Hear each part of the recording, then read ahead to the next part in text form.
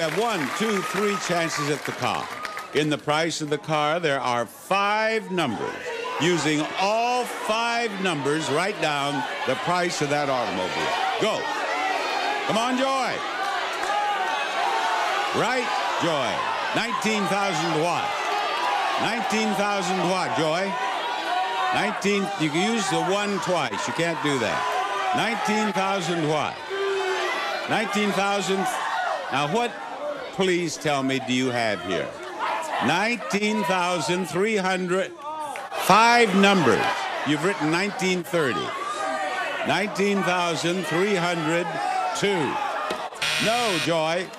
Now, come on. Let's go. You're going to lose your turn if you don't write.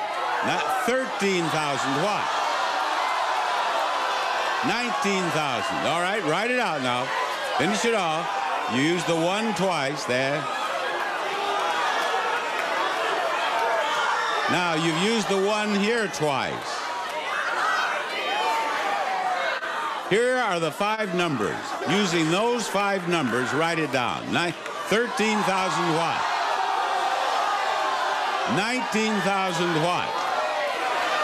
19,000. 19,200. You've used the one twice. 1,000. 19 twice, Joy.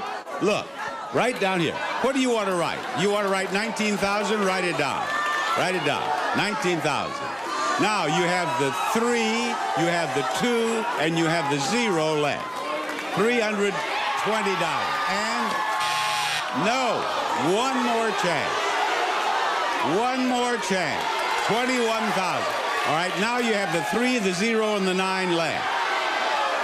Go ahead. Nine, zero. No, you won.